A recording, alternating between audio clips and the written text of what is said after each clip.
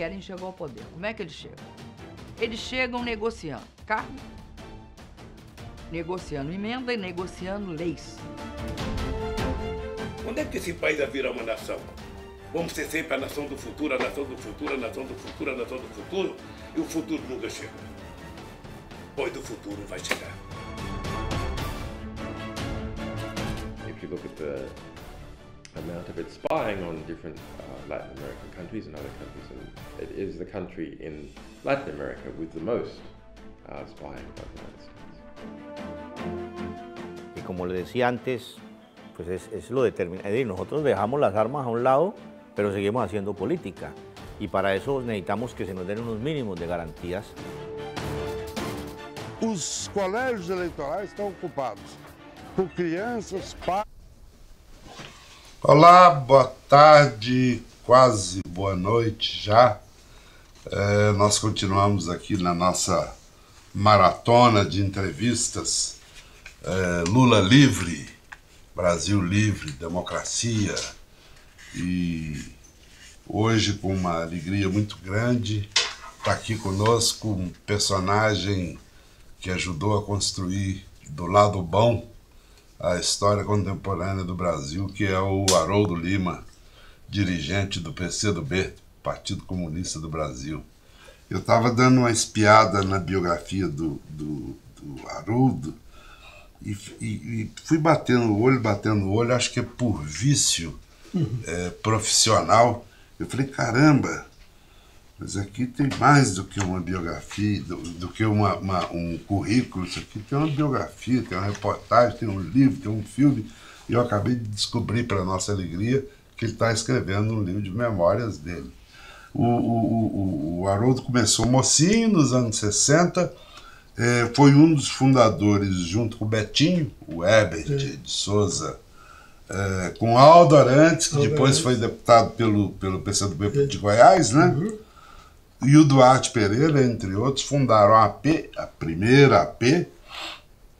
É, ele é engenheiro, o, o Haroldo é engenheiro, e depois do ato 5 da Barra Pesada, foi trabalhar como diarista na zona cacaueira da Bahia para organizar politicamente o trabalhador rural combater a ditadura militar.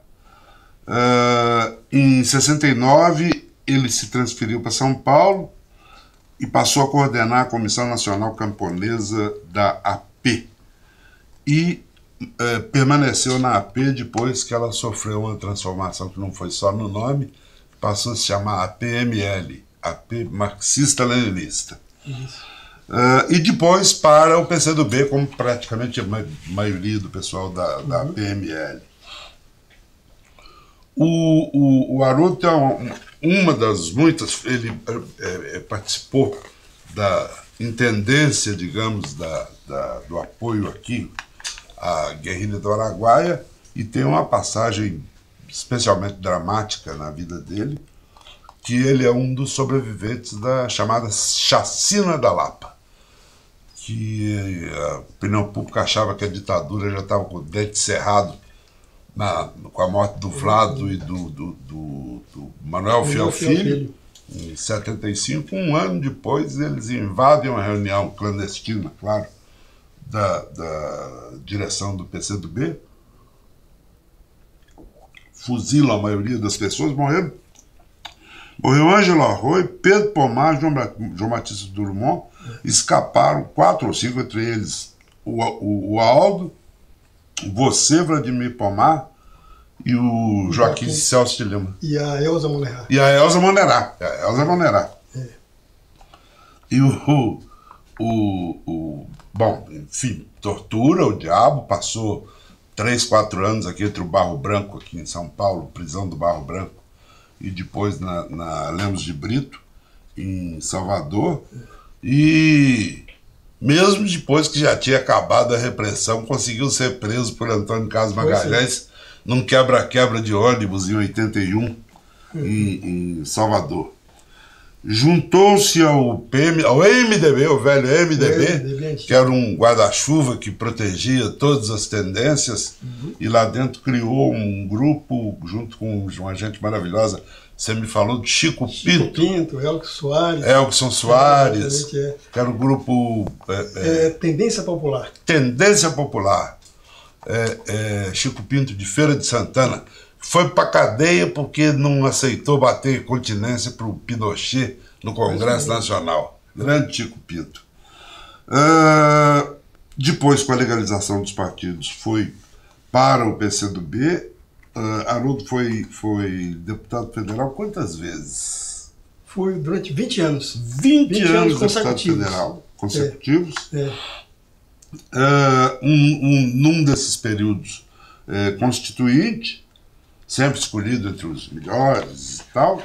E depois, no governo Lula, ele passou a, a dirigir, primeiro como diretor, depois como diretor-geral, a ANP, a Agência Nacional do Petróleo, onde já começou a batalhar como um dos pilares, um dos artífices da adoção do Estado do marco regulatório da partilha da produção do, do, do pré-sal, descoberto durante o governo em que você era, do período em que você era Diretor-geral diretor-geral da, da, da Petrobras.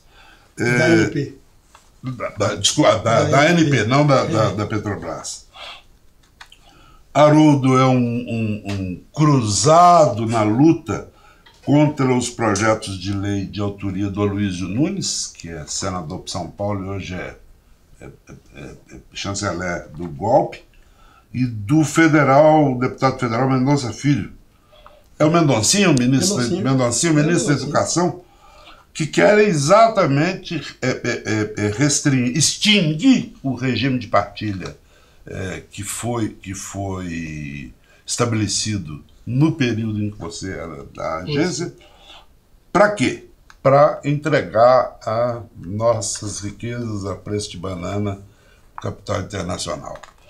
É, como vocês perceberam, é, a, a vida do Haroldo da reportagem, da livro, da filme, da minissérie, dá o diabo. Nós vamos tentar resumir um pouquinho aqui e tentar chupar dele pelo menos algumas coisas em que ele pode nos ajudar muito a entender. Primeiro, é o seguinte, é, com a sua experiência política, já viveu tudo quanto é tipo de crise, já viveu golpe de Estado. É, é, o que fazer, Haroldo? O que fazer agora, é, nesse momento tão difícil da vida política brasileira? Olha, Ala Fernando, primeiro eu quero dizer que eu estou muito satisfeito em estar aqui comparecendo ao, aos ouvintes da Nocaute e sendo entrevistado por Fernando Moraes, essa pessoa que é uma legenda também na literatura brasileira de militância, de atuação. Sobre a tua pergunta, eu, eu acho o seguinte, Fernando, eu acho que a primeira coisa que nós precisamos ter é que nós estamos diante de uma, de uma situação extremamente grave não é uma situação de anormalidade. O Estado brasileiro está em caos, está numa situação caótica. O, o, o, pela Constituição brasileira, o nossa, a nossa União ela é fundada legalmente em três poderes: o poder é, legislativo, o poder executivo o poder judiciário. Se olharmos direito, hoje o poder executivo está na, é, é um poder ilegal, é um poder ilegítimo é, capitaneado por um chefe de quadrilha. Esse é é o fato. O poder legislativo é um poder que também corroborou um golpe há pouco tempo atrás. Então é um, é um poder deslegitimado.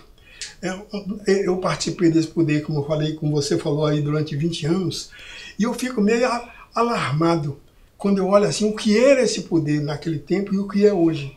Naquele tempo o poder era dirigido por um cara chamado Ulisses Guimarães eu fui, eu fui vice-líder do MDB quando eu cheguei. Quando eu cheguei, o Ulisses me indicou para vice-líder do, do, do, MDB. Eu agradeci, eu era representante dos comunistas dentro do, do MDB. Do MDB. Ele falou, você, você é, é vice-líder. Aí eu, e quem é o líder? O líder é aquele ali. É um baixinho paulista. Freitas Nobre. Freitas Nobre, Freitas grande Nobre. sujeito. Uma senhora figura. Sim. Quer dizer, era um Nacionalista nacionalista, destacado, combativo, que era uma pleia de, de, de quadros que existia na, na, na, na Câmara, no Senado, que a gente fica olhando hoje, mas é Quais são os de hoje? É uma decepção, tirando algumas exceções que Sim. existem, mas o, as pessoas chaves não têm nenhuma respeitabilidade, não infundem nenhuma credibilidade ao povo brasileiro. Essa é a situação do legislativo. E a situação do judiciário também é caótica. O judiciário passou nesses últimos anos a, a ter um dinamismo uma, frenético e com uma parcialidade política é, alarmante o, o judiciário hoje ele é uma, é, uma, é uma, uma comissão política de um determinado órgão. Né? Ele aceitou que se criasse dentro do Estado, na minha opinião, Fernando, se criou uma espécie de um Estado de exceção dentro do Estado de Direito. Esse Estado de exceção foi sendo montado com, com o Ministério Público, com alguns juízes, alguns procuradores, alguns juízes e alguns membros do próprio STF. Esse pessoal começou a se inclinar. Inicialmente parecia que era uma coisa assim voltada contra a corrupção. O tal da Lava Jato, a Lava Jato enganou muito o povo, porque o nosso povo é muito ressentido com a corrupção que claro, existe no Brasil. Claro. Então, se você está querendo pegar ladrão e ladrão graúdo, o povo bate palma, claro, não tem dúvida nenhuma. Progressivamente o povo foi se dando conta de que só pegava ladrão que tivesse algum suposto vínculo com o governo popular. E mais ainda, era voltado contra os próprios líderes desse governo, especialmente o Lula. Eu acho que isso desmoralizou muito a, a Lava Jato e a Lava Jato começou a, a se transformar num núcleo de um estado de exceção. Ela utiliza é, o, o, o, chamado é, os direitos, a, a, legislação brasileira do processo legal penal não é utilizada, não é respeitada por eles, mas recentemente estão tentando desrespeitar o próprio STF e o próprio STJ. Quer dizer, virou uma coisa à parte. O, a, prisão do Lula é uma coisa anormal. O Lula está sendo preso por um suposto crime que cometeu que não foi provado não só não foi provado, como, como o, o, o, fato de que durante muito tempo tem se investigado minuciosamente Lula até as pontas dos cabelos, como ele contou outro dia, pegaram o, colchão de minha casa, de minha, de, da minha cama, reviraram de pé. Tiraram o motor da geladeira. O motor da geladeira, as malas, ele dizia as malas que tinham lá em cima no, no, nos armários, puxaram todas as malas, olharam uma por uma. Apreender brinquedo de criança, de criança, netos dele. Essas... Depois de tudo isso, não tem uma prova, não tem um recibo, não tem atestado, não tem uma, uma um conta, cheque, uma, uma conta, conta, no exterior. Uma conta no exterior, não tem nada e ele está preso. É uma coisa chocante para o Brasil. Para o Brasil. O mundo inteiro está meio chocado com isso. Esse moço está preso. Porque mesmo não, não. Porque supostamente cometeu um crime que não foi provado mas que vai se revelando que, no fundo, que o crime que Lula cometeu foi de coordenar, de dirigir um governo de essencialmente popular, de, que resgatou boa parte, 36 milhões de brasileiros foram postos, foram extraídos da faixa de pobreza absoluta e colocados numa faixa de certa dignidade existencial. Esse é foi nós, o crime. Como é que nós não nos demos conta de que eles iam reagir se a gente estava mexendo, se a gente estava mexendo numa ferida deles, é. que era tirar os miseráveis da, do, é, do buraco. É. Aí eu acho, é, nós tivemos erros também. Nós tivemos erros, primeiro ter aceitado um pouco essa história porque progressivamente foi, foi, nós estávamos percebendo, nós que estávamos, eu estava no governo, estava como diretor-geral da, da ANP, é, no governo Lula, e percebendo isso, né? de repente especialmente a, a grande mídia brasileira, ela ia forjando um caldo de cultura voltado contra aquele governo, contra o que tinha de acerto no governo. E não que tinha de erro no governo. Ela ia forjando aquilo. E eu acho que o nosso governo, o governo de Lula, foi muito conivente com isso. Sei. Foi muito conivente. Eu era diretor-geral da ANP, quando uma revista que tem aqui em São Paulo, a revista Época, é, apresentou em matéria de capa uma, uma, uma, uma, calúnia absolutamente despropositada contra a ANP, com a minha fotografia na capa, essa coisa toda. Aí eu fui em cima e articulei lá no Congresso Nacional uma sessão especial para New Vico, que, é né? e ele, eles foram lá para para escutar a, a, minha defesa e foi muito. O pessoal que estava em dúvida tomou a palavra e disse, oh, Haroldo, você é nosso ex-colega aqui, essa coisa. Depois do que você falou aí, nós chegamos à conclusão que você está sendo a vítima dessa história toda, isso não aconteceu, nós queremos pedir desculpa a você sobre essas coisas que estão me chamando aqui para lhe fazer indagações, como, supostamente como se tivéssemos dúvidas. Não tem uma dúvida, foi muito bom, é ótimo, muito bom. Estava presente a, a, o pessoal da época. Eu terminei e eu disse, ah, eu espero agora que vocês reproduzam no próximo número o que vocês ouviram aqui. Acabaram de ouvir aqui. O que acabaram de ouvir aqui. Esperei o próximo número, não saiu nada. Esperei o outro, também não saiu nada. E assim, a, a INP estava é, é, programando uma grande campanha nacional de, de, de, de combustíveis. Uma Sim. campanha de combustíveis, etc. Sim. E que implicava, era uma campanha toda programada, toda arrumada, em que, levando em conta as tiragens dos jornais e, e das revistas, era dado não sei quantos. É, é tanto, tanto espaço para esse, tanto espaço para aquele, que se contava por centenas de milhares de reais. Uma capa inteira, uma página inteira colorida da revista Quatro tal. Cores. Né? Fatos coloridos, essa coisa era grande. E aí a, a campanha toda montada e apresentada a mim. Apresentada a mim, e eu olho a campanha e está tudo muito bem, tá, só tem uma coisa. Essa revista aqui, Época, cortem. Ela não vai receber nada. Não vai participar da campanha. O pessoal ficou subsaltado, mas, diretor, não se pode cortar uma revista assim dessa importância, como é que vai ser e tal. Aí eu, eu, eu diga que fui eu que mandei cortar. Eu que mandei cortar. Aí é, mandam para Brasília, porque o, a SECOM, que é a Secretaria de Comunicação, é quem, em quem inspecionava tudo isso, como Sim. é que é. Aí a, a SECOM mandou perguntar, por que, que a época não está? E eu mandei dizer, escreva aí, não está porque o diretor-geral considera que a época é inidônea é uma, é uma Portanto, não merece e receber. não merece credibilidade e não vai receber. Enquanto eu estive aqui, ela não recebe nada. Não participou. Não participou. Ela, inidônea. Inidônea. Não tem não pode botar dinheiro numa não, publicação inidônea. Eu acho, Fernando, não é por nada, mas se tivéssemos feito isso outras vezes, com mais porte do que isso, eu acho que eles tinham chegado para lá, nada. Quanto mais eles batiam na gente, mais a gente botava dinheiro neles. Você pega a revista Veja. A revista Veja deu não sei quantas capas absolutamente caluniosas contra o Lula. Caluniosas. Você, pegava a revista assim e abria a página. Quando você olhava, tá lá, anúncio do Banco do Brasil. Passava, olha lá, anúncio da companhia não sei de quem. Olha lá, passava, estava dentro da tudo. Quer dizer, nós estávamos sustentando com o nosso dinheiro as calúnias que eram feitas contra nós. Criando o corvo que ia comer seus olhos. Exatamente, exatamente isso, exatamente isso. E eles foram se animando, eles não, eles não, eles não fazem nada contra nós, pode bater nele. Resultado, criou-se no, no povo brasileiro uma certa mentalidade meia contra nós.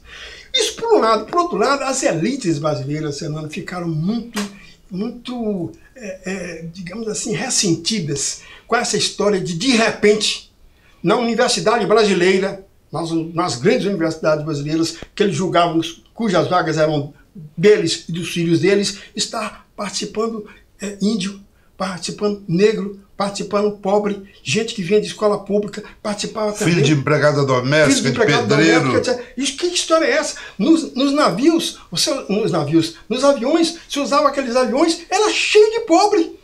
Eles não aceitavam gente isso. De sandália, gente de sandália de, de, de dedo. De sandália, é, exatamente. É. A, a, a, Danusa, a Danusa Leão, ela fez um comentário uma vez, não sei se você se lembra, ela disse, olha, eu fiquei chocada. Cheguei, cheguei em Paris e quando eu vejo, tá esse pessoal todo. O porteiro lá. do meu prédio Aí ela disse, perdeu a graça. Risco, é, exatamente, ela disse: corre o risco de eu chegar em Paris e me hospedar no hotel e tá o porteiro do, do meu, meu prédio, hospedado perdeu lá. Graça, é. Perdeu a graça, como você diz aí. Quer dizer, isso era chocante para esse pessoal. Eles não aceitaram isso.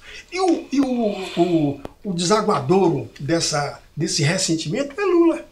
Lula é homem. Para isso criou-se toda essa panagem que se vai aí. Tudo isso é uma criação. É uma, é uma, uma coisa absolutamente despropositada que é feito, na minha opinião pessoal, aí você fala, você fala da minha experiência, pela minha experiência de 64 64 foi um golpe urdido, os militares participaram, deram, tudo isso é verdade, massacraram, é, mas se não tivesse o dedo do governo americano no meio, não ia lá. Não teria. Não tinha. E na época a gente pressentia isso, eu me lembro conversar com o Chico Pinto, Chico Pinto era muito amigo meu, ele chamava Chico. Como é que é isso?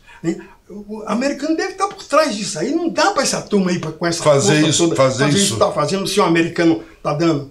Aí ele não tinha os dados concretos. Anos depois, Vai se saber. vai se saber. Operação Brother Sun. Ah, o Brasil, o Brother Sun, onde eles trouxeram para aqui, para as costas do Espírito Santo, o, o, o, o, Ah, porta-aviões florestal Exatamente. de propulsão nuclear e com toda uma tropa pronta para, se houver resistência, Tá eles- garantido.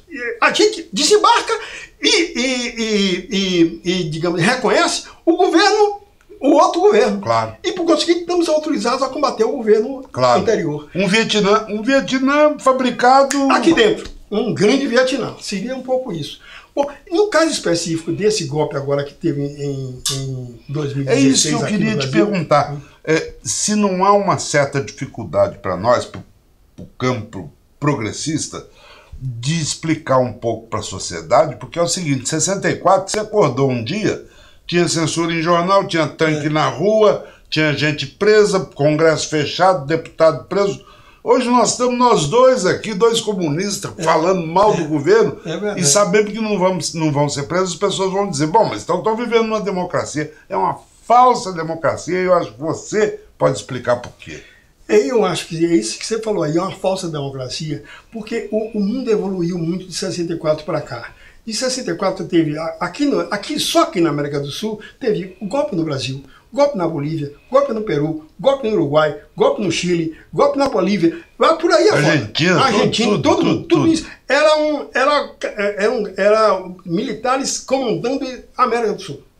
Isso ficou ultrapassado. Além do mais, há, há diversos eh, eh, analistas que mostram, Fernando, que eles, americanos, perceberam o seguinte: olha, fizemos tudo isso, uma grande jogada, e não deu certo nada. Não ficou de pé nada.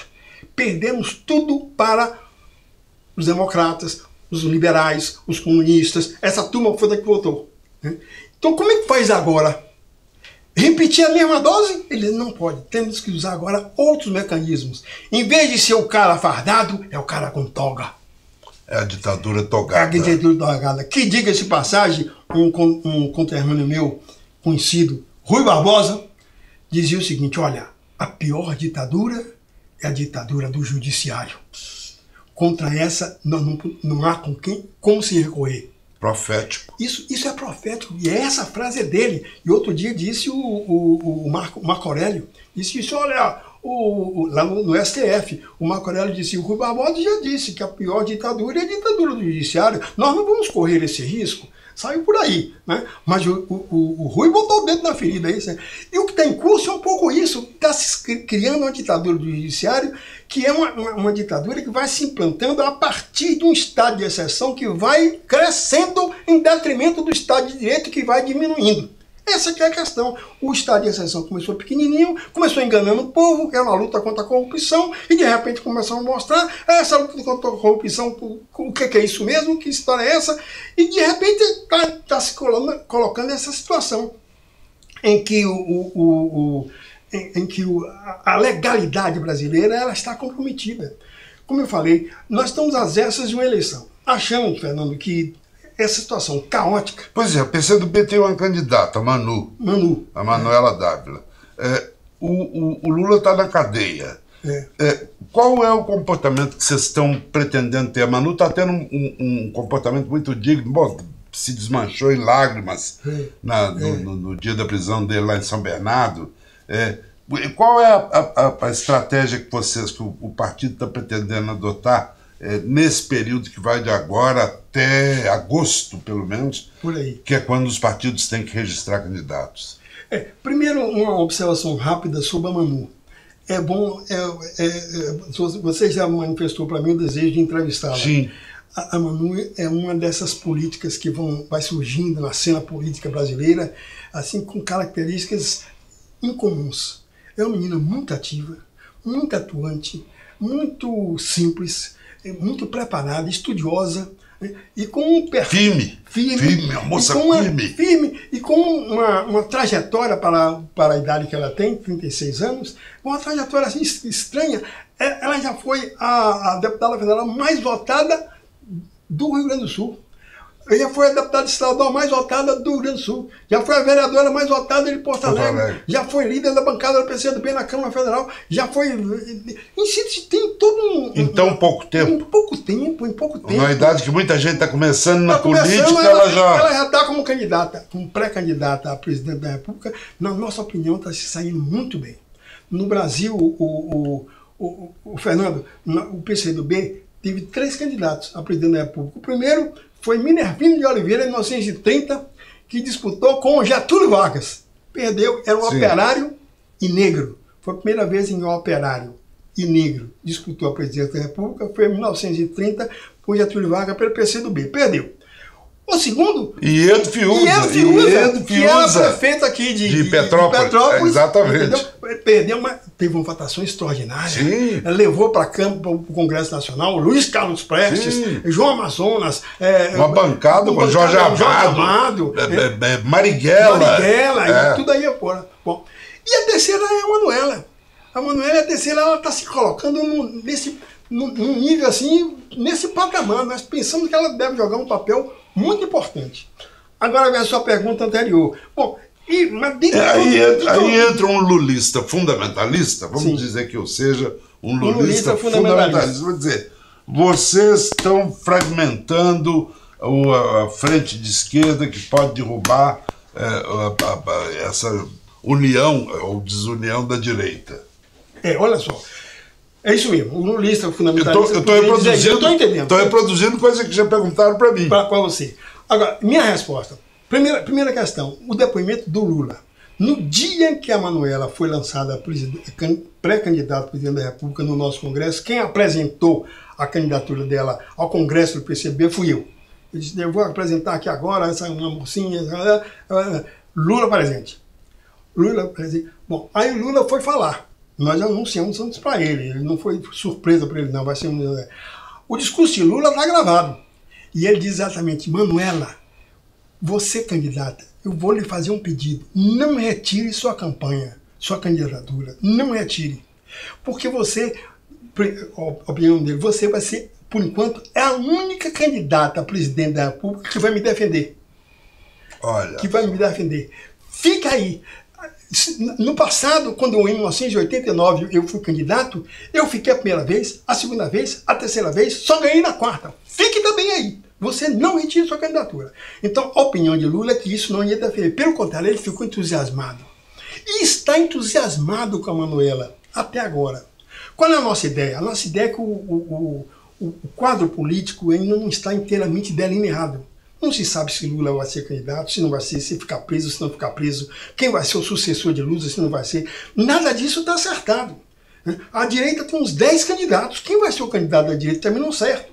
Numa situação como essa, a gente vai ficar de fora esperando quadros que delinear para então depois. Não, nós queremos participar do delineamento do quadro. Nós entramos com nossa pré-candidata e estamos fazendo uma boa campanha, salientando alguns aspectos importantes, tipo o papel da mulher, o papel do negro, o papel do jovem. Esses três papéis assim nós, nós estamos colocando que, que, que reflete muito a experiência particular da Manuela e com isso a Manuela está galvanizando, está fazendo uma campanha de razoável porte. É, Saiu agora um- um- uma pesquisa da, da- do Instituto Paraná chamou a atenção de que num, para, num, num dos cenários ela ganha para presidente da República para o atual presidente da República o chamado presidente da República. Ela ganha para o Michel. Quer dizer, olha, que ela não- que, né, o, o- o atual, o chamado presidente da República perde para ela. Aí vem afunilando a, sua, a resposta à sua pergunta. A nossa ideia, Fernando, é que nós devemos criar uma frente ampla, galvanizar. Mas que a unidade não se faz senão fora da luta. A unidade vem no desdobramento do processo e não como anterior ao processo. Não dá para a gente fazer unidade chamando agora, ah, você quer, vamos fazer uma luta, vamos juntar. Juntar de que jeito? Vamos à luta. E no processo social, no processo da luta, vendo- nós vamos ver quem se destaca, quais são as bandeiras que são levantadas com mais força, qual é o programa que vai se impondo com, com mais autenticidade junto ao povo, e em torno disso a gente se junta e aí a gente forma uma unidade. Mas essa unidade em torno de quem vai ser processo que vai explicitar Sim. e não, e não uma definição Sim. anterior. Sim. Então nós somos muito confiantes. A nossa ideia de sembrar Lula, nesse, nesse ato que eu estou me referindo a Lula, a nossa proposta é criar uma grande frente. Uma grande frente para irmos ao processo. Agora, vamos formar essa frente. A frente não está articulada. A frente não está articulada. E eu acho que o, o- o- o- hoje, há um- uma, contraditoriamente, um, um- um fator de articulação importante dessa frente está aparecendo na pessoa do Lula. O Lula preso, Fernando, foi um fator de unir uma porção de gente que não estava unida até então. Por exemplo, no 1 de maio, em, em Curitiba, estavam presentes as sete centrais sindicais. Que eu acho que nunca- eu acho que nunca tinham se encontrado. tinham- nunca tinham se encontrado. No nunca mesmo palanque. pro mesmo palanque. No mesmo palanque. Nunca tinham ido para o mesmo palanque. Foram em torno da figura do Lula que estava preso. Porque o que é que é o Lula? O Lula é o maior líder popular que já houve na América do Sul. Eu, não, eu digo assim, que já houve na América do Sul, estou tirando a América do Norte. A América do Norte nunca teve um, um líder popular. Não- nunca teve. a na América- história não- é, não, não, não registra. Então, é um grande líder. Né? Esse homem está preso. Eu, eu escrevi uma coisa qualquer aí, um um artigo qualquer, dizendo vai, vai ficando chocante para a, para, para a sociedade brasileira fazer uma eleição em que o elemento preferido pelo povo está preso sem prova. Sem prova. É difícil você manter essa situação como essa. Como é que vai ser mesmo? Vai ter eleição, mas eu, eu queria votar naquele cara. Não, ele é ladrão, não é ladrão. Provaram? Não, não provaram. Mas está preso. Ué, mas é o meu candidato. Não é o candidato de, de um setor, é o candidato que está em primeiro lugar nas pesquisas, com mais do dobro da votação do segundo colocado. Exatamente. Então é uma coisa chocante. Por isso nós achamos. E isso a despeito da sova que vem tomando todos os dias Da no, grande rádio, no rádio, na televisão. No... é, da, grande, da, da grande mídia. A grande mídia brasileira também vai mostrando uma coisa, eh, que eu fico observando assim, olha, se tem uma coisa que não forma opinião hoje no Brasil é a mídia. Essa grande mídia. Porque a grande mídia bate É. há anos no Lula. Enquanto e o povo não toma conhecimento Não disso. toma conhecimento. O povo não toma conhecimento. Nem, nem tá Não sabendo, toma não tá ligando para isso. É, Às, vezes é, às vezes é o contrário. Quanto mais bate, mais ele Mas sobe. ele sobe, mas ele sobe porque ela o povo percebe que é uma mentirada deslavada. É uma mentirada deslavada de baixo nível. Muitas vezes. né? Eu mesmo era, eu digo assim, eu, eu e tenho diversos amigos que éramos assinantes da Veja, assinantes de outras revistas. Não assinamos mais nenhuma. Não só não assino. Não leio, nem passo as vistas. Claro. Não olho assim, não. Claro. Pra dizer a verdade, Claro. olho na, revista, na, na banca quando eu passo assim, olho assim e tiro o olho rápido, porque não é moralidade. É verdade. Uma imoralidade, uma excrescência. E vai surgindo em alternativa essa grande mídia, essa turma. Esse pessoal aí do nocaute, É, é esse isso, pessoal aí. é isso, essa turma é se impondo e essa turma tem respeitabilidade. O pessoal sabe quem é ele, sabe quem ele entrevista, o vê, o- vê o tete a tete, vê, vê a autenticidade que existe. Não, é, é uma, nessa- é uma revolução. Uma revolução. Você faz uma, uma, uma, uma, uma, uma estaçãozinha de televisão aqui, com dinheiro dado por contribuinte. Aliás, eu estou me dizendo aqui, faça sua assinatura solidária para manter o, o, o nocaute funcionando. Com isso aqui, a gente pega, fazer uma entrevista com um revolucionário chamado Haroldo Lima. É capaz de dar mais audiência do que os leitores do Globo todos juntos É possível. do que É a. Folha, do que o Estadão. É. Isso tem números, não é uma. uma- uma- É. Tem número que registra isso. Então, está tendo uma revolução, a tecnologia está produzindo uma revolução aí, que jornal perdeu a importância. Perdeu a importância, não tem dúvida.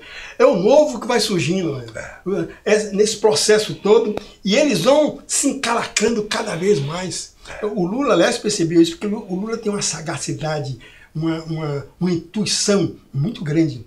Ele diz: olha, esse pessoal aí está mentindo. E está com dificuldade de deixar de mentir. Porque para ele deixar de mentir, ele diz, ah, nós, nós Tem mentimos criar até ontem. E aí, e aí vamos falar agora, eles não querem dizer que mentiram ontem. É. E se não querem dizer que mentiram ontem, vão ter que fazer uma outra mentira para justificar. Né? E aí eles. E o povo foi. Estão continuando. Eternamente, mentindo. Eternamente, mentirosos. é. Ente- Mentirosos e há tempos que estão mentindo. E mentem de forma co- coordenada. É. Você pega a mentira que sai na, na Veja, é a que sai na Isto É, é a que sai na Época, é a que sai na, na- no Estadão, é a que sai no Folha.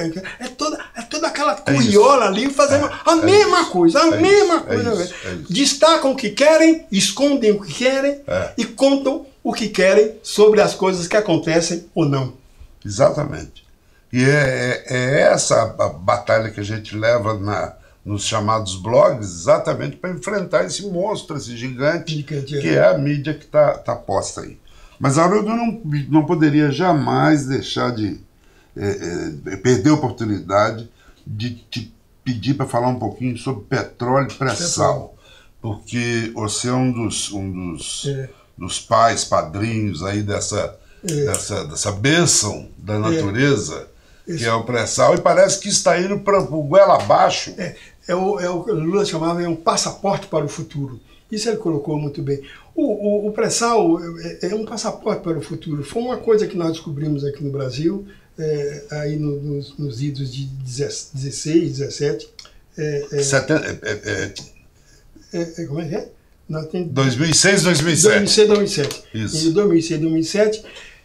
E que tivemos a, a, a felicidade de ser descoberto num período em que tinha um governo com Lula à frente.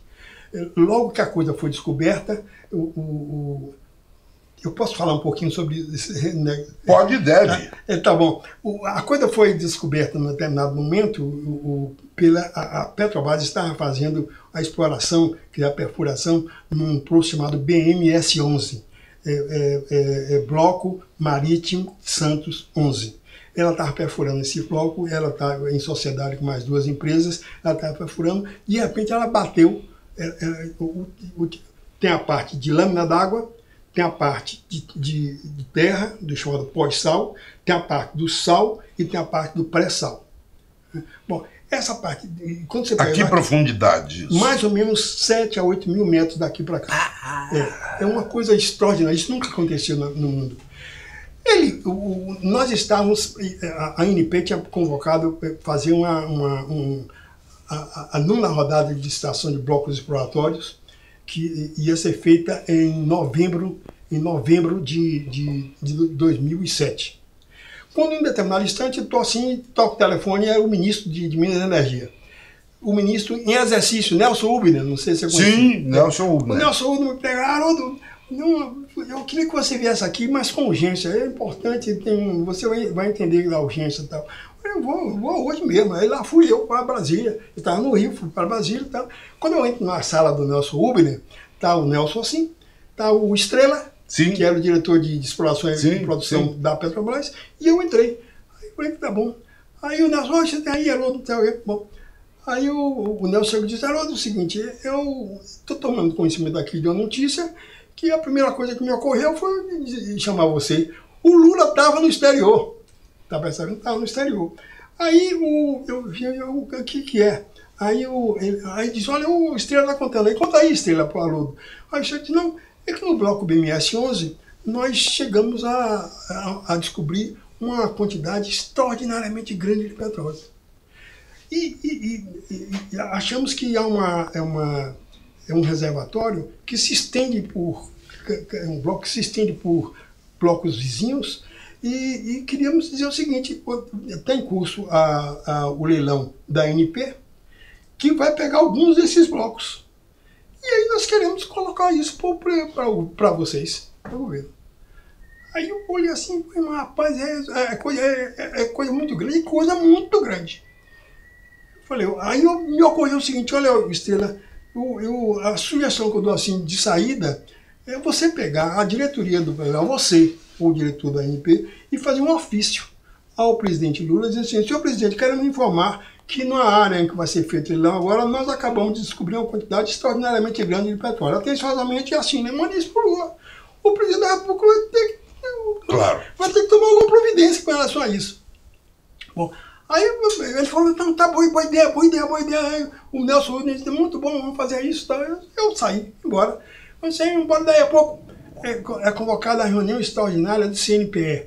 Detalhe, é uma- é, o CNPE, que é o Conselho Nacional, é, Conselho Nacional de, de, de Energia, CNPE, Conselho Nacional de Política Energética. Política CNPE, Energética. Conselho Nacional de Política Energética, só se reúne em Brasília. Se reúne dentro do Ministério de Minas e Energia, é presidido pelo ministro de Minas e Energia, em geral participa um ou outro ministro. E é só. O, o, cara da NP, o diretor-geral da NP, às vezes o, o presidente da Petrobras é convidado e por aí afora vai. É assim. Dessa vez, o Lula convocou uma reunião do CNPE dirigida por ele, presidente da República. É a primeira vez, nunca aconteceu, como nunca, nunca voltou a acontecer Sim. isso. Segundo, com a presença de oito ministros. Oito ministros. Com a presença do diretor-geral da ANP, que sou eu. Com a presença do presidente da Petrobras, tá lá. Com a presença do presidente da, da, do, do, da, da, da- da- do BNDES, Sim. que era o Coutinho. Luciano Coutinho. Luciano Coutinho. Com a presença mais do, do, do, do Maurício Tomasquim, que é do, da EPE, Sim. que é, é Empresa Energética Brasileira, empresa de, de política energética. né? Tinha mais algumas pessoas. né? E aí ele abre a reunião com o papel na mão. O tal do papel era a carta. A carta que A tinha tal da mandado. aquela- Aquele jeito dele, assim, disse, olha gente, eu recebi essa carta aqui, dizendo que foi descoberta uma quantidade extraordinariamente grande de petróleo tal, na área que vai ser feita aí o, o, o leilão dentro de poucos dias, etc. Tal. E, e eu queria então, eu queria consultar vocês para saber o que, é que nós vamos fazer com relação a isso. O clima geral era o seguinte, olha, uma reunião daquela, descobre uma quantidade enorme, é como você, por exemplo, você vai vender uma casa sua, você anuncia a casa que vai ser vendida por, vamos dizer, 750 mil reais. Sim. Na véspera, de, nas na antivéspera de você vender a sua casa, ele descobre no fundo da casa uma mina de ouro. Sei. Aí você vai vender a casa? Não. Ou vai vender pelo mesmo preço? Não. é possível. Não, não, não, digo, não, mudou peraí, tudo. Mudou tudo. Que história é essa? Pede desculpa, faz o É. que seja lá. Aí o pessoal, a ideia geral é o seguinte: suspende o leilão. Suspende Suspende o leilão. Tá bom. E aí acabou, e vamos ver. Mas eu, que estava por dentro do assunto, eu estava articulando. Ih, rapaz, deixa eu Não importa. Desliga Deixa aí. eu desligar esse negócio aqui, né? Pronto. Tudo bem. Aí, desculpe aí, viu? Imagina. Mas o certo é que ele, então, eu disse, olha, o presidente me pediu para falar. Eu fui o segundo a falar. Aí pedi a palavra e disse, olha, presidente, uma coisa é certa, o Brasil é muito grande e essa, esse local onde foi descoberto aqui é um localzinho pequeno e situado no sul do país, na parte rica do país. O resto do país, os prefeitos estão aqui todos esperando vai ter um leilão aqui, vai ter um lugar na área dele, vai ter outro leilão aqui, vai ter na Amazônia, vai ter no Rio Grande do Sul, vai ter no interior da Bahia, vai ter em Sergipe, Alagoas, vai ter em Paraíba, em tudo daí. Suspendeu o leilão porque os ricos descobriram uma fortuna na, na sua terra, eu não acho muito certo. Então eu tenho, uma, eu tenho uma outra opinião. Minha opinião é a seguinte: eu, como diretor-geral da NP, posso, segundo o edital, retirar do. Segundo o edital, prevê a possibilidade de eu retirar os blocos que achar conveniente, dando uma explicação pública é, até a véspera do leilão. Do leilão. O leilão está faltando 19 dias. Então eu proponho Tá que todos esses 41 blocos que estão aqui, nós temos somado, são 41, que esses 41 blocos eu comunique ao mercado que estão Eles retirados. estão fora, estão fora, Estão do, fora leilão. não vai. E o resto do leilão faz. Aí o Lula imediatamente, na hora assim, ele olhou assim, aquele jeito dele, ele disse, mas é bom a gente ter um comunista aqui entre nós para fazer uma proposta desse tipo. É, que coisa Disse boa. exatamente isso assim. Aí eu boa. falei assim, aí na hora, como de- olha, ele, ele disse, bom, se essa proposta de Haroldo, ela, é- ela pode ser feita, é minha ideia é essa. Imediatamente isso ganhou unanimidade. Lula naquela época estava com um prestígio Sim, lá em cima, você imagina, imagina. é. Lula estava a favor daquilo, ninguém ia ser contra, ele Claro, ganhou unanimidade. claro, claro. Aí isso já era mais ou menos umas 11 e meia, ele ia viajar de tarde, para não sei aonde aí. Aí, aí vamos almoçar na Petrobras. É umas mesas desse tipo assim, mesas todas redondas. Ele ficou numa mesa assim, ele estava ele, a Dilma e umas, outras pessoas, e eu estava na mesa próxima aqui, juntinho assim, próximo a ele, almoçando assim. né? Quando eu vejo ele falar, Haroldo, vem cá. Aí eu levantei, che- cheguei assim tinto dele e disse, cá, aquele negócio que você falou que você tem direito de tirar aquele negócio mesmo, você tem certeza disso? Tem certeza. Aí eu falei, eu acho que tenho. Eu acho Aí ele eu falou, tenho. eu acho? Eu acho, eu vou viajar agora de tarde. E eu não posso Você- viajar com você com esse leilão desse com esse jeito. leilão desse jeito, você vai doer. Eu falei, pois é, mas a gente pode confirmar isso agora. Aí eu fiquei assim, ele disse, ô, ô, ô, Dilma, chega pra lá um pouquinho. Aí empurrou a Dilma pra lá, botou uma cadeira aqui, eu sentei aqui, aí peguei o telefone e ligo pra. Ligo pra Assessoria jurídica. Que era mais ou menos meio-dia, meio-dia e meio por aí. Né? Aí eu quero falar imediatamente com a Procuradoria Jurídica da, da ANP. Aí ligaram para lá, é, atendeu um cara lá, o, o, cara- eu falei, olha, é, por favor, eu queria falar com o, o procurador-geral. Ele falou, tá almoçando. Eu falei, "Ih, rapaz, não tem nenhum procurador por aí não? Tem sim, eu. Falei, "Ô", aí me falou quem era, um, um japonesinho. Aí eu falei, eu achei o seguinte, eu quero saber se está previsto no edital, formalmente, que a, a, o diretoria geral da MP pode retirar os blocos que achar conveniente, blocos que achar conveniente até a véspera, se isso é verdade. Eu acho que pode. Falei, Baixinho, você não está me entendendo. Eu acho pode, eu Eu também, também acho. Até aí, eu 0 a preciso- Eu 0 estou de junto do presidente da República. Ele precisa dessa- resposta agora e de forma categórica, precisa. Porque ele vai viajar daqui a pouco. Ele não pode viajar sem saber disso. Você me dá essa resposta agora. Ele falou, ah, tá bom, eu vou pesquisar hoje de tarde, eu informo. Eu falei, não, você também ainda não está entendendo. Eu quero que você pesquise e me dê a resposta daqui a pouquinho. É, em alguns minutos. Eu telefono para você. Ele falou, tá certo, então. Aí depois eu falei, "Oi, Lula, ele vai, lá estão procurando isso lá. E eu também assim, meio tenso, vai, vai que não Só pode. falta, só falta o diabo aparecer. Aparecer, dizer que não podia, e aí não, tá tudo. A reunião foi suspensa por causa dessa informação Claro, minha. claro. Aí, toca, aí eu toco o telefone, ele não tocou, mas eu toquei para ele, quero falar com, com fulano e tal, Takahashi, o nome dele, quero falar com Takahashi. Aí o eh, a Takahashi, Takahashi, é, é, é, pesquisou, pesquisei. Existe sim, é, é a linha 1, é, não sei o que, página 11. Disse, Na de forma mosca. precisa. De forma. Eu falei, repete tanto, tanto, o página 11 eu me lembro precisamente. Não, muito obrigado, tudo bem, tchau. Lula, Presidente. resolveu. Aí Lula ficou satisfeito. pronto. Graças a isso, a, a, as 41 blocos foram retirados. No meio dos 41 blocos estava Libra, Franco, Sei, toda sei, essa estrutura sei, que tá aí. sei. Tá, tá? O leilão, o resto foi feito e foi constituído. O Lula teve a sagacidade, em seguida, de constituir uma comissão de oito pessoas, nas quais participavam cinco ministros. é, é, parece que era, é, era a- a- o Lobão, que era o ministro, ministro da Energia, a Dilma, a Dilma, o, o, o, o Guido Mantega, o, o, o ministro de Desenvolvimento, Desenvolvimento, é, Desenvolvimento, Indústria e Comércio, Miguel Jorge, talvez não. não, não era o Miguel Jorge, não. É, mas era não. E tinha mais alguém aí. E tinha eu, eu, o Gabriele, que era o presidente da Petrobras, e tinha mais um outro. Eram oito. Eram oito membros. Desses oito, envolvidos com o petróleo, só tinha eu e o Gabriele. Os outros eram ministros, eram Sim, com estavam ali. Estavam ali.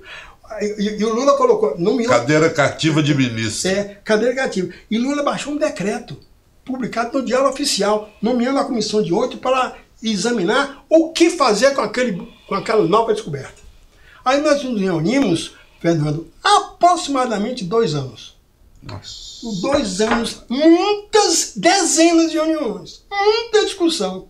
Eu fiz muitas exposições sobre isso, estudei muito esse assunto. Fui, eu não conhecia o assunto, nunca tinha mexido com essa história de ter um grande manancial de petróleo. Nunca tivemos.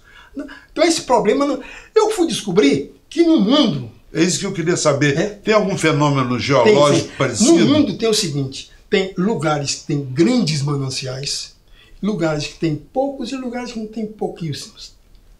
Nós aqui no Brasil estava na média assim dos, dos médios. Sei. Não era grande coisa, não. Nós que tínhamos, o que tínhamos de maior importância era a Bacia de Campos, Sim. mas que não tinha nada assim de enorme importância. Nada próximo, nada próximo, nem leve ao Oriente Médio. Sei. Nada próximo à Venezuela. Sei. Não tinha nada, nada próximo à Rússia, lá Sei, em Baku, sei. etc. Nada próximo. Os, os OPEP, Não, nada. nada, nada com isso. Bom, e aí eu fui descobrir que esses locais que tinham muito petróleo, eles usavam um outro tipo de contrato que era diferente do nosso. E aí, grosso modo, a coisa se punha da se- da seguinte maneira: nos lugares em que no mundo existe pouco petróleo, ou uma quantidade média de petróleo, em outras palavras, um alto risco exploratório, usa-se o contrato de concessão, no qual o concessionário fica dono do petróleo que descobrir. Ele vem fazer o contrato dizendo assim, e se você descobrir, você é dono do petróleo. petróleo é você seu. paga a nós um royalty, paga tanto, paga isso, paga aquilo, aquilo outro, e o resto é seu. Aí por isso é que ele vem. O risco também de não descobrir nada é grande. Claro. Se não descobrir nada, paciência, o, pa- problema é seu. O problema é seu. Mas nos lugares que tem alto, que tem baixo risco exploratório e alta probabilidade de descobrir petróleo, não se faz esse contrato. Faz o seguinte contrato: ó, o petróleo é nosso, é do Estado, E você vem é, é, fazer, fazemos um contrato e fazemos uma licitação e quem der mais, quem garantir mais petróleo para nós, da, da parte Da extraída, extração. da extração, é, ganha o contrato. É chamada partilha da produção. Na produção, você tem uma determinada parte. Você O resto é explora, 15% é seu, o, resto é, da nosso. União. O resto é da União. Acabou. É. Então, esse que é a diferença entre contratos de concessão e contratos de partilha. Nós nunca tivemos esse problema porque não tínhamos essa disponibilidade. Na hora que surgiu isso, nós. E aí surgiu isso como? Eu, eu mesmo surgiu isso estudando a Rússia. A Rússia é um país desse tamanho, em que tem um pedaço da Rússia que tem muito petróleo. É aquela imensidão que tem pouco petróleo. Na imensidão que tem pouco petróleo, tem contato de concessão. Na parte que tem muito petróleo, é contato de partilha. Falei, opa, Aqui tem. Tá aqui, aqui, é Aqui tem. aqui tá o nosso negócio. Em Angola, a mesma coisa. Em Angola, a mesma coisa. Na, na, na- eh, v- vamos dizer, lá no, no- eh, na Noruega é uma coisa semelhante. Aí, resultado, nós fizemos o, o seguinte raciocínio. Nessa área aqui, que tem aproximadamente 100, e- 102 mil quilômetros quadrados, que, que tem em torno de, de- que vem do Espírito Santo até, até Santos. até Santos, que é a chamada polígono do pré-sal, nesse polígono aqui, que relativamente à área sedimentar brasileira é pequena, mas nesse polígono tem uma imensidão de petróleo. Então aqui Qual é a expectativa? Os números falam Os de números quê? são, até hoje são díspares. Sim. Não, o, o que é mais ou menos certo é que tem um mínimo de 50 bilhões de barris de petróleo. Para você ter uma ideia, o, o- o- o- céu. o- o- o- o petróleo, de todo o petróleo que até então a Petro, o Brasil tinha, era 14 bilhões de barris de petróleo, quando nós descobrimos o pré-sal. Alguns disseram, "Ah, isso vai ser a 100 bilhões. É difícil a gente dizer que não vai. Também é difícil dizer que vai. né? Mas, Mas gente, de qualquer maneira, mas nós 50 tínhamos- bilhões de 50 barris de bilhões, não. petróleo. E 50 bilhões É não- 25% da maior reserva do planeta, que é da Venezuela. É da Venezuela, exatamente. é. Mas é também. Então é uma coisa vertiginosa. Nos últimos 30 anos, nos últimos 30 anos, o Fernando nunca se descobriu nada semelhante. Foi a maior descoberta de petróleo nesses últimos 30 anos, foi isso aqui. E aí vem uma, uma colocação que eu queria aproveitar assim. Você fala 30 anos por quê? É, qual foi a anterior? A anterior é lá pelo Oriente Médio. Ah, sei, É, sei, lá no sei. Oriente Médio, a própria Golfo Petrobras. Pérsico. É, Golfo Pérsico, etc. A Sei. própria Petrobras na- no Oriente Médio um, eh, descobriu com, com Estrela lá, com Sim. os outros, né, descobriram lá no Iraque, uma, eh, na época do Saddam Hussein. Você lembra do Saddam Hussein? Sim. Né, que o americano resolveu matar? Sim. né? O- o- Depois que deixou de interessar, depois que deixou de interessar e, e, e arguindo uma mentira deslavada, ela tá cheia de armas de destruição massiva, tomaram tudo, arrebentaram tudo. estão repetindo agora na Síria. Estão repetindo na Síria, é uma coisa absurda. O certo é que o Saddam Hussein fez um contrato com a Petrobras lá para explorar uma hora lá. Naquele lugar ali, é um tal de petróleo, você. Enfio Cava- dentro sai É, esguichando. você vai cavar um, um buraco para plantar um, Um pé de couve. E aí sai o petróleo. Corre o risco que aí petróleo você não tem onde plantar o pé de couve. Bom resultado. Vai, vai, vai a Petrobras e começa a explorar um petróleo lá na área chamada Majinum. Esse Majinum foi, na- na- até então, a maior descoberta já feita no planeta. Foi de Majinum, foi feita pela Petrobras no Iraque. Sei. E o que, é que o Estadão fez? Quando descobriu e que verificou que é uma quantidade vertiginosa de petróleo, chamou a Petrobras e disse: está ótimo, vocês descobriram uma quantidade vertiginosa. Tá bem. Eh, Quanto é que vocês querem ver o trabalho feito? Porque o- a área é nossa. O petróleo é O nosso. petróleo é nosso. A Petrobras, segundo me disseram mais recentemente, uma, é, diversos diretores da Petrobras, na época eles também achavam que eles não tinham fôlego para explorar aquilo. Sei. E que e o, o Saddam pagou muito bem pago a ele e eles saíram animados de lá. Mas quem descobriu foi a Petrobras. Olha coisa- só, eu não sabia. É, descobriu, imagina. Tá percebendo? Tá lá até hoje. Os Estados Unidos foi uma das razões da guerra, né, das tais armas de Sim, destruição massiva, era justamente É mais um. isso. É essa que é a arma de destruição massiva. que petróleo, lá, é petróleo. petróleo. Tá percebendo? É a jazida. É. Então, resultado. Eu acho que hoje está se criando, o, o- o- o Fernando, uma situação que era bom a gente estar atento. Nós estamos atentos. É que, a, vamos dizer assim, a idade do petróleo, ela começa aí mais ou menos no meado do século XIX, mas não é do século XIX, vai, começa com força. Em, mil, em, mil, em 1900, em, em É, em, mil, em 2000 é fundada a, a, a Exxon. Sim. A Exxon Mobil, que hoje é Sim, Exxon Mobil, que- na época é, era é, Exxon. é, é. era Standard. Oil. Standard Oil. A Standard Oil. A Standard Oil no New Jersey era, é, que era uma coisa gigantesca Sim, era o maior trust do, do, mundo, mundo. que já houve é. no mundo. Quando foi subdividido por decisão do governo americano, deu 33 empresas. Gigantescas. Cada, a segunda era a Chevron. É. E por aí eu A falo. primeira é ExxonMobil. É, é, é ela, ela própria. Ela própria. É, é, ela a Exxon, depois a Chevron, depois a Mobile, É. depois ela se uniu com a Mobile e vai por aí afora. É. Bom, mas o certo é que é, essa, a idade do petróleo que começa nesse período todo, eh, passa o século XX todo com, com o século do petróleo. O século do petróleo.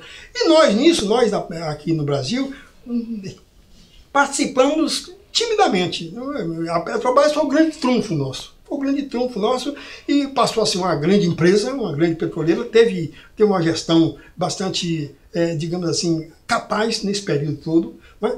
E, e descobrimos o petróleo, a, a, o, o, o em 2006, 2007.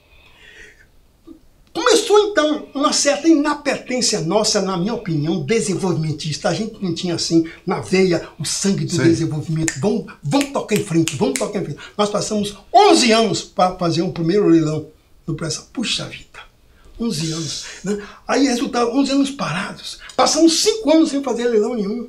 E aí, e- e enquanto isso, o pessoal de, de, de Angola, o pessoal de Moçambique, o pessoal da, da, da, Guiana, todo mundo fazendo, a México, todo mundo fazendo leilão e. E surgiu no mundo, e está surgindo agora, uma, uma situação que nós não estamos eh, muito atentos. Nós que eu falo em termos de Brasil, mas em termos de mundo, está muito atento. Está surgindo uma, uma situação em que está emergindo uma nova idade, que não é mais a idade do petróleo. Está emergindo. Não significa que a idade do petróleo está acabando depois da manhã, mas está sem futuro. Como assim? Você pega, começa pela, começa por um fato assim que aconteceu há um- cerca de uns dois, três anos atrás, que é a indústria Volvo da Suécia, tomou uma decisão de a partir do ano 2020, 2000 e- e 2021, não vai mais produzir carro a- óleo diesel, nem carro a gasolina. Daí em diante, outros países fizeram a mesma coisa. Na França, o governo francês tomou essa decisão. A China entrou de vento em popa nisso aí. Os Estados Unidos correndo para se equiparar à China na fabricação de carros elétricos. Todos esses dispensando o combustível eólico. Mas, mas Haroldo, é, o que se diz também é que esse argumento é um dos principais argumentos utilizados pelas grandes multinacionais para quê? Para desvalorizar o petróleo como riqueza e comprar o pré-sal na bacia das almas. Pois é, pois é, eles querem aproveitar esse fato, é, isso é verdade. Isso aí é verdade também. O- o- digamos assim, você aproveita um fato e, e pega ali um limão e faz uma limonada. O fato é isso, está tá condenado. A, a- a curva de produção, a curva de consumo de combustível começou a cair, já começou a cair. Falam em meio século, né? Em 50 anos. Não, fala até um, mais ou menos. é, falam assim, 2040. É que Sei. falam 2040, 2050, mas a partir de 2025, 2030, 2040, a- a- já começou a cair a curva, a produção.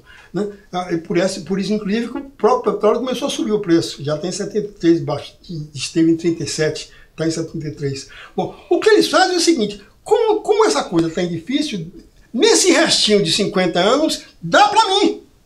Tá desvalorizado, você não tem futuro, dá pra mim. Sei. Esse que é o problema. E aí sim enrola um pouco os trouxas, dizer, já que não tem futuro, dá pra eles. Você sabe que tem muita gente aqui perguntando um negócio com curiosidade repetida, que é o seguinte: é, é, se, se é possível recuperar o que já foi perdido por medidas tomadas pelo Eu governo golpista. Eu acho que sim. Aí tem um negócio, o problema central nosso, o, o- o Fernando, é um problema político. É o problema de, de quem é que está no, no comando político do país. Se o comando político for nosso, no- por exemplo, Manu. Manu tem um dos pontos, talvez o primeiro ponto do programa de Manu é, é plebiscito revogatório de, de diversos atos do governo golpista. Então, se tiver um. Se, se, tô sabendo que o Boulos botou isso também no programa dele.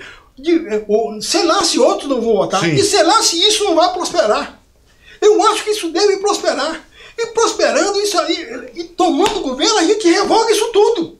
Então revoga isso tudo. Esse negócio de entregar Eletrobras, de entregar.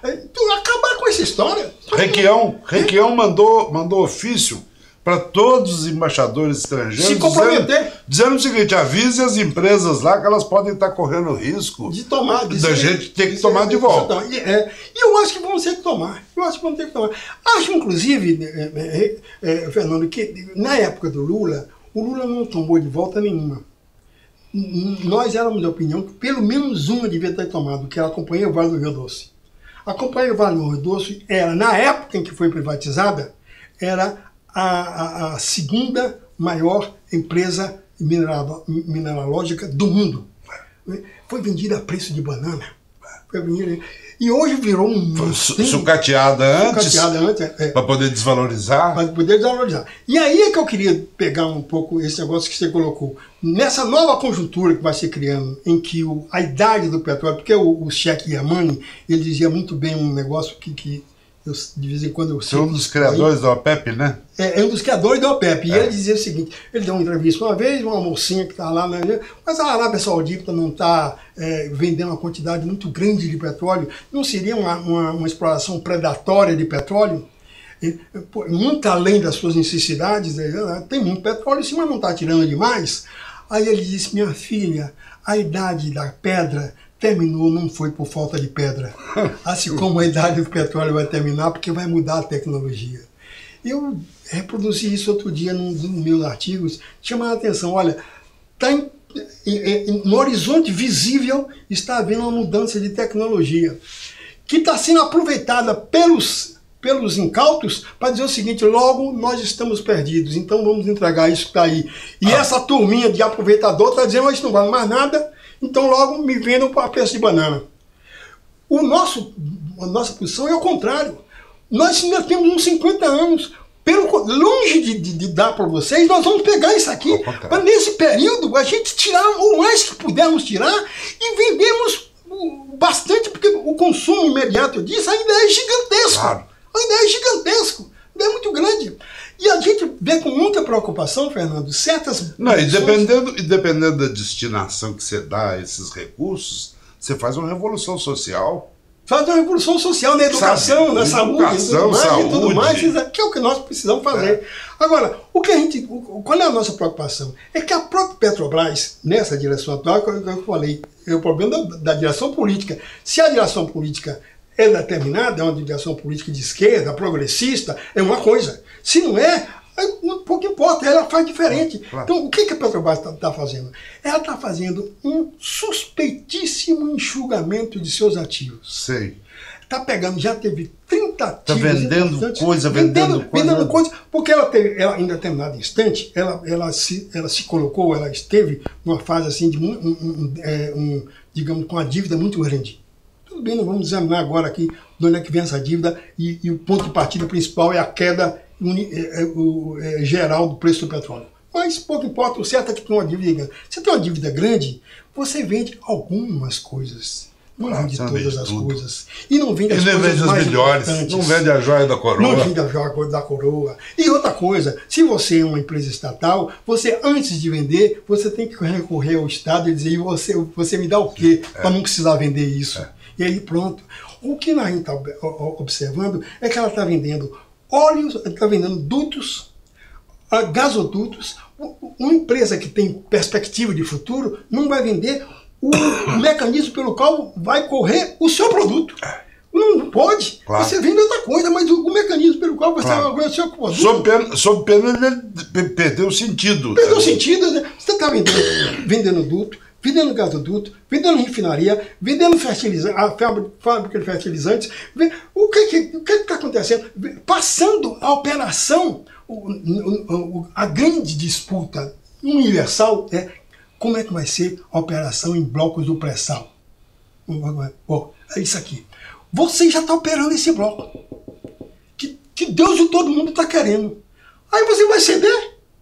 De forma alguma. Por quê? Você não tem condições. Pois bem, Carcará era um bloco do. Era não. Era um bloco do pré-sal. E a operadora era a Petrobras. Pois a Petro- a Petrobras não ven- vendeu essa, é- é- essa, é- essa operação para a Repsol? Não tinha razão. Peraí.